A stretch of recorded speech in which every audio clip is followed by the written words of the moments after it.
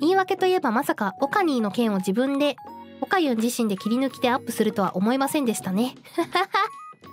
自分は信じていますよ。ええショート動画投稿させていただきました。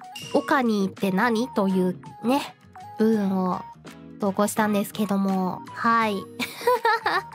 なんだろうな。インパクトが残ってるところで切り抜こうかなっていつも思ってて自分の記憶をたどってオカニーの部分は結構印象に残ってたんでショートにしました。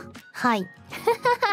やっぱ間違った意味でオカニーがね広まっていっちゃったら困りますからそこはやっぱりねしっかり丁寧な訂正で対応しないとなということで作らせていただきましたよ。はい。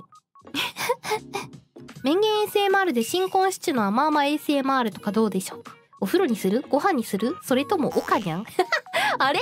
なんかさ結構甘々なやつ想像してたのになんか急に最後気持ち悪くなっちゃったよ？大丈夫かな？逆にいいならいいけどね？みんなが止めないよ？わいがおにぎりを気持ちよくしてやるんや。それがお望みなんやろ？な？おにぎりゃええんか？ここがええんか？嫌すぎ。